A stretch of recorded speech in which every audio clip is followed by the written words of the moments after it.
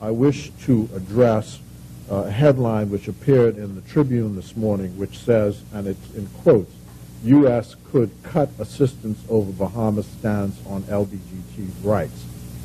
Uh, this is misleading in the sense that the headline writer, if you read the story and the quotes which were taken from what I said yesterday, the headline writer was a bit inventive in coming to that conclusion.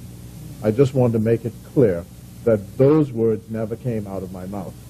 What I indicated is that uh, we are allies of the United States of America, that the United States has policies, social policies, which it pursues.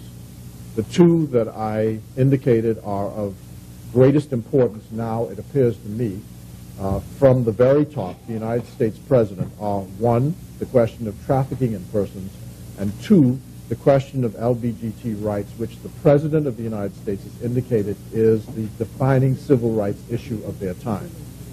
I simply indicated that any prudent foreign minister would always be aware of what the policies of the United States government are and seek, insofar as we can, to be consonant with those policies.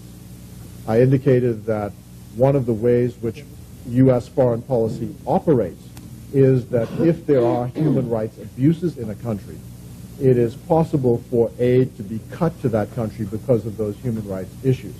So we have to be careful, uh, well, not only for that reason, but we also have to be careful in addition to other reasons, which is our own principles, of course, uh, how we approach human rights issues, because there's not only the domestic dimension, but there's also the international dimension uh, and the American axis that we have to be concerned about.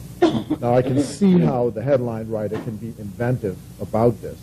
Uh, I suppose it helps to sell newspapers, and it's put in quotes. But those words never came out of my mouth, and the only point I was making is the general uh, issue that what we do in human rights sometimes may influence whether or not U.S. aid continues to come to this country.